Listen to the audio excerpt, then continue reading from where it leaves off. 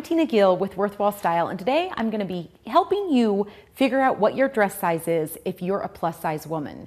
So, first and foremost, you need to figure out what part of your body, either at the upper half or the lower half, is your larger size. Most women are not proportionate like my little mannequin here.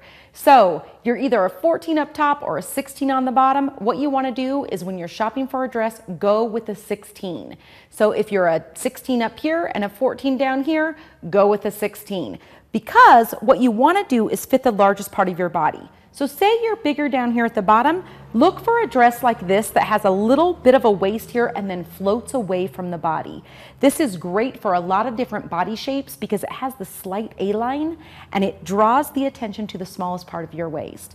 Something else I love about this dress for the plus size woman is the cowl neck here. And what that does is it opens up your face so that your face is the star of the show. And it gives you a great opportunity to pop a nice big chunky piece of jewelry here.